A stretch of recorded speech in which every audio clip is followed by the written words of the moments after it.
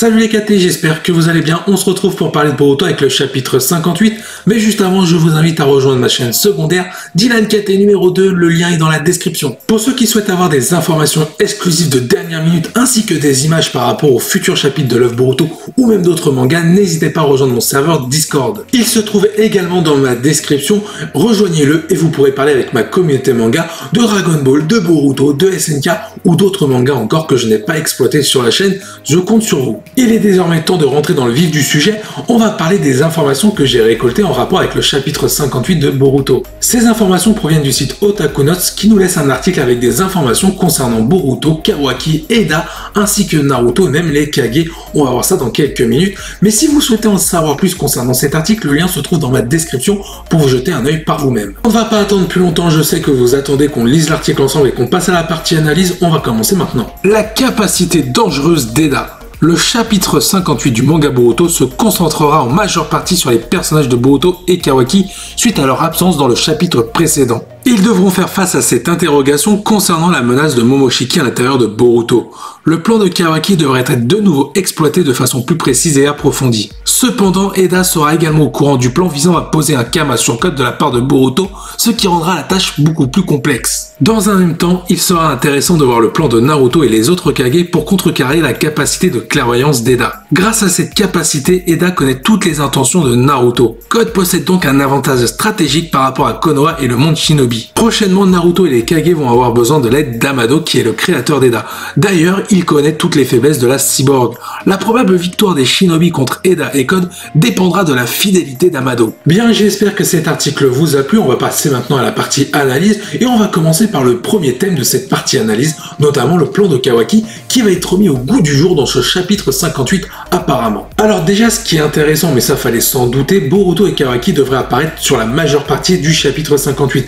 Souvenez-vous, on les avait même pas vus durant le chapitre 57, malgré le fait que leur nom ait été stipulé. Du coup, la dernière fois qu'on a vu Boruto et Kawaki, c'était à la fin du chapitre 56. On avait un Kawaki qui avait proposé à Boruto d'essayer d'utiliser la technique de Momoshiki, celle du Kama, pour l'implanter sur Code. Boruto avait refusé et préféré s'entraîner tel un shinobi. Donc on va voir un Kawaki apparemment un peu reproposer son plan à Boruto pour lui dire bon, il y a une situation d'urgence, tu t'auras peut-être pas forcément le choix de choisir mon plan. D'ailleurs, je vais vous donner une information officielle concernant Momoshiki. Bah, tout simplement, le chapitre 58 va développer un peu son cas, notamment en référence à Boruto et Kawaki, qui vont devoir lui faire face. Alors, je pense pas qu'il y aura un combat entre Boruto Kawaki versus Momoshiki. Je pense que vraiment, ils vont essayer de trouver une solution pour contrecarrer un peu les plans de Momoshiki, car celui-ci risque de ressusciter à tout instant dans le corps de Boruto, ce qui veut dire que Boruto va crever. Donc, dans tous les cas, il y a une menace gérer qui paraît être imminente, celle de Momoshiki, et aussi sauver la vie de Boruto, car c'est quand même important. Le fait que dans le chapitre 56, Kawaki a évoqué un plan pour sauver Boruto en utilisant la technique du Kama sur code, pour moi ça va être réutilisé dans la suite, car pour moi il va y avoir un choix à faire à un moment donné. Si Boruto il voit qu'il est en train de perdre le contrôle sur lui-même et que Code il est en train de fracasser toute sa famille, à un moment donné, tu peux sauver ta famille et sauver ta propre vie, quitte à faire quelque chose de dégueulasse. Après il est vrai qu'il y a un autre problème, parce que si Boruto parvient à utiliser la technique du Kama sur code, bah techniquement ça veut dire que Momoshiki est revenu à la vie. Donc pour le coup il y a un autre problème qui fait que Boruto va devoir affronter Momoshiki par la suite, car Naruto Sasuke pas sûr qu'ils soient de taille même en duo pour affronter Momoshiki sur le fait qu'ils aient été nerfs auparavant. Naruto a perdu Kurama, Sasuke sont Renegan pour l'instant. Je vais revenir sur un point que j'ai énoncé il y a quelques secondes. Est-ce que Naruto et Sasuke seraient capables de battre Momoshiki avec leur force actuelle? Alors sincèrement, je ne pense pas même en duo. Par contre, s'ils se mettent à 100 contre Momoshiki, là il y a de grandes chances de victoire. Maintenant, est-ce qu'ils auront les forces en présence pour affronter Momoshiki à ce moment-là quand il va revenir à la vie? J'en doute. Peut-être que par la suite, quand Momoshiki sera revenu à la vie, c'est Sasuke qui va s'en occuper. Et ça se trouve, Sasuke va récupérer son Renegan, mais il va y laisser la vie face à Momoshiki. On a eu le droit à une masterclass avec Naruto versus Ishiki, le mode Baryon. Pourquoi pas Sasuke versus Momoshiki pour mourir en héros en sauvant Konoha ainsi que Boruto, ce qui expliquerait pourquoi Boruto porte les convictions de Sasuke ainsi que ses vêtements lors du premier chapitre de son œuvre. Mais avant d'arriver à tout ça, il faut que Boruto parvienne à implanter son Kama sur code. Mais malheureusement, le personnage d'Eda est au courant du plan de Kawaki par rapport à sa capacité spéciale en rapport avec ses yeux. Et oui, comme il est dit à la fin du premier paragraphe de cet article, le personnage d'Eda dans le chapitre 58 pourrait être au courant des manigances de Kawaki et pourrait tout simplement rapporter ces informations-là à Code. Et on va s'en douter que le personnage de Code va pas se laisser faire, il va pas attendre que Boruto lui implante le Kama, à moins que ce soit son plan. Imaginez que Boruto implante le Kama sur Code, qui avait pour réel objectif de tout simplement récupérer un Kama parfait pour peut-être faire ressusciter Ishiki.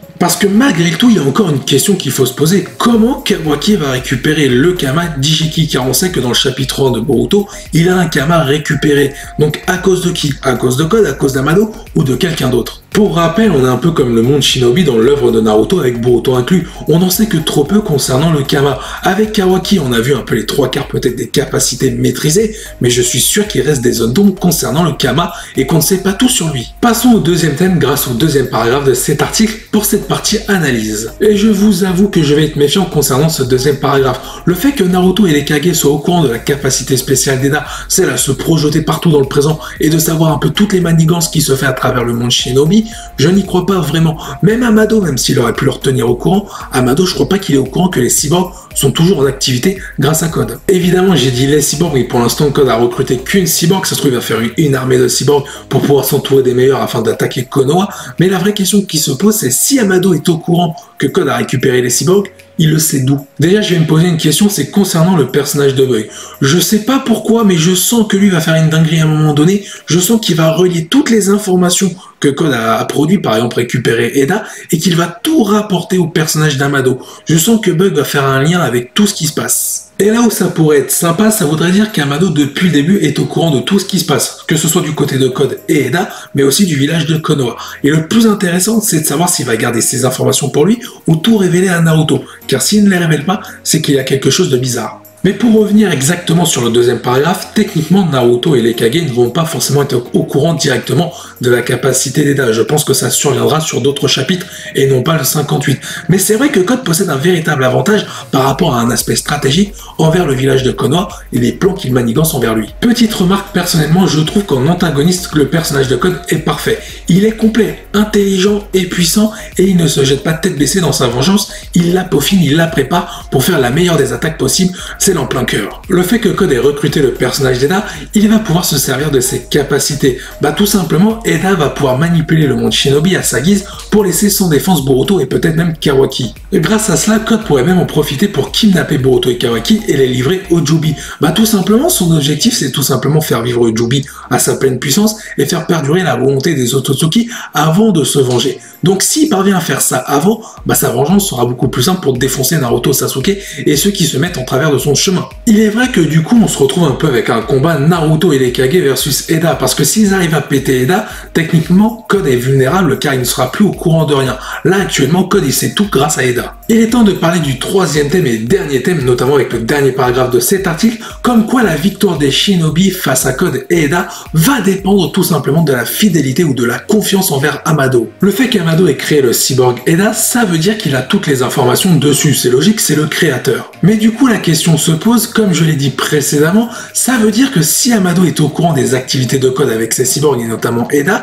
il doit le dire à Naruto pour que Naruto soit au courant de la capacité spéciale d'Eda. Parce que pour moi, si Amado ne le dit pas, ça veut dire une entourloupe, car pour moi, il voudra manipuler Konoha ainsi que Code, car Code ne sera même pas au courant du plan d'Amado, qui lui certes veut se servir d'Eda pour manipuler tout le monde. N'oubliez pas le début du chapitre 56 avec un Kawaki qui se faisait soigner par Sumire avec une seringue préparée par Amado. Ensuite, Amado voulait discuter avec Kawaki, mais a été interrompu parce que dans la pièce, il y avait Sumire et Katasuke et qui voulaient vraiment parler en tête à tête avec Kawaki. Ça sent la manigance à plein nez. Je vais vous donner notre information officielle, mais je pense que vous la connaissez déjà. Cet arc-là va se concentrer sur le personnage de Code et Amado et tous ses secrets qui l'entourent. Il y a une information quasiment officielle aussi qui tourne en ce moment, l'ellipse concernant le manga Boruto devrait se produire juste après cet arc. Mais du coup avant l'ellipse, il faut que Boruto maîtrise son kama, il faut qu'Amado ait tout simplement des questions à répondre, tout simplement le fait comment il a créé des cyborgs aussi forts que Jigen, pourquoi Kawaki a récupéré son Kama? Est-ce que c'est à cause d'Amado?